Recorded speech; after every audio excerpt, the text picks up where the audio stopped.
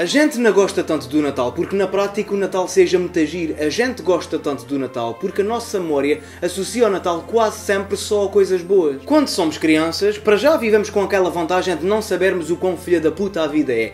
E depois o Natal é-nos apresentado como uma festa onde a família está toda reunida, os nossos pais ainda não estão divorciados, come-se muito bem, estamos todos juntos, contentes, a confraternizar e no final da noite ainda recebemos presentes brutais. E a única coisa que foi preciso nós fazermos foi estar lá. É confortável como uma cunha qualquer. Ninguém nos pediu para irmos pescar a tia Firmina à paragem ou para irmos comprar bolo rei às 7 da tarde do dia 24. Foi-nos tudo dado de bandeja e essas boas experiências cravam-se na nossa memória para todo o sempre. E quando chegamos a adultos, percebemos que o Natal é apenas aquilo que é. É o que sempre foi. Nós crescemos, a nossa vida mudou, a nossa visão sobre o Natal mudou, mas o Natal é esse continua a ser a mesma coisa. E quer queiramos, quer não, no Natal ficamos sempre agarrados à nostalgia. Onde é que era bom, pá? Não havia essa gorda da popota. Onde é que era a Leopoldina, que era uma avestruz como deve ser, uma avestruz normal, nem agora essa Leopoldina que tem um corpo de modelo da Victoria's Secret. E gozamos nós com o facto de haver um hipopótamo cor-de-rosa que dança, quando já não nos lembramos que a Leopoldina era uma avestruz que voava e que tinha uma hélice no cu. Olá meninos, vamos ao fantástico mundo dos brinquedos! Lá está, a nostalgia atrair a nossa memória. Onde é que era bom? As prendas que eu recebia eram brutais. Claro, não há uma prenda para uma criança que seja uma merda. A menos que tu lhe ofereças um livro, que é uma cena mais de adulto, ou um par de piugas, que é pouco estimulante. Mas qualquer prenda para uma criança é brutal. A menos que lhe ofereças uma Barbie, se for um menino. E mesmo assim, esse menino vai arranjar a maneira dessa Barbie ser a escrava sexual do Spider-Man. E eu digo Spider-Man porque já não existe o Action Man, como havia no Metamp. É muito difícil errar numa prenda para uma criança. O que é que se vai oferecer a um menino de 8 anos? Tens dois corredores inteiros no hipermercado, pronto, podes escolher.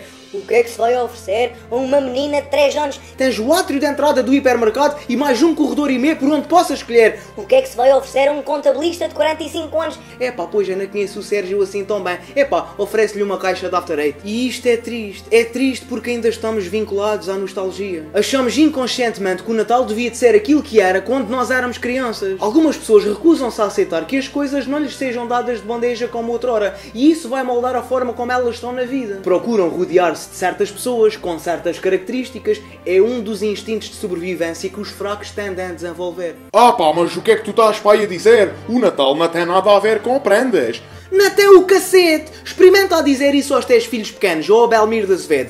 Ambos vão começar a fazer uma birra descomunal. E quem diz o Belmiro de Azevedo diz outro dono qualquer de uma cadeia de hipermercados que beneficia com os impulsos consumistas da sociedade. E eu não sei qual é a mensagem deste vídeo ou a piada, é sinto que hoje estou só aqui para conversar um bocadinho com vocês, se é que se pode chamar conversa a este monólogo, e também para vos desejar um sincero Feliz Natal. Se vocês já têm filhos, tenta não espelhar neles aquilo que vocês gostavam de ter sido, mas não conseguiram. E é sei que para muitos isto poderá ser um conceito complicado de entender, lá porque a criança é igual a ti, tem os teus genes, ela não és tu quando tinhas a idade dela, ela é um ser humano completamente diferente e vive num contexto completamente diferente. E eu digo isto porque a mim ofereceram-me um estetoscópio no Natal quando eu tinha 5 anos. Eu hoje tenho 27 e a única coisa no meu corpo que tirou medicina foi a minha caligrafia, que não se percebe um cacete daquilo que escrevo. Ofereceram-me também uma bateria. O meu pai era baterista naquele tempo em que não havia músicos pimba a cantar em playback com o instrumental nas disquetes do teclado. Havia bandas que tocavam música popularucha nas festas da aldeia. O conceito é mais ou menos o mesmo, só que o cachê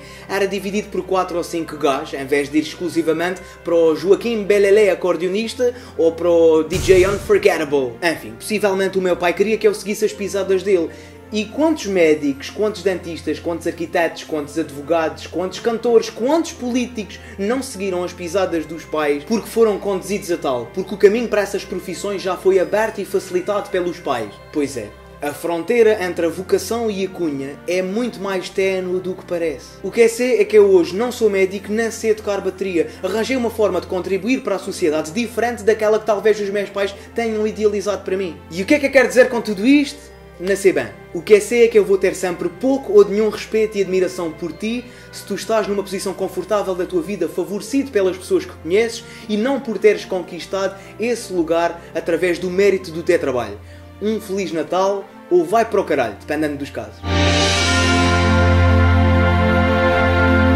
Pessoal, Festival do Humor Só Rir no Palácio de Congressos dos Salgados em Albufeira. Eu vou estar lá no dia 1 de janeiro. Uh, podem encomendar o TikTok e ele vai chegar antes do Natal se vocês pagarem o livro até quinta-feira da parte da manhã.